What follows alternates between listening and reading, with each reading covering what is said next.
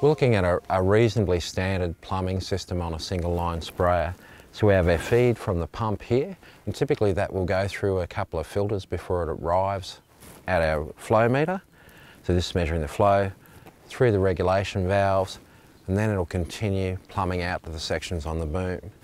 And one of the things I really like about this particular plumbing setup is that it has inline filters, one for each section.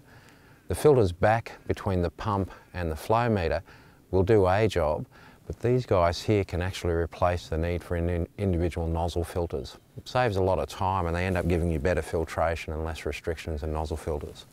If I follow this line out to where it's plumbed into the boom itself, you can see this one here is centre plumbed and it feeds out either side approximately three, three and a half metres. Now it's a half inch internal diameter hose, so they've only run it three and a half metres either side of the split. That's about the absolute limit for a half inch diameter hose. If I want to run further, I probably need something bigger, like a three quarter.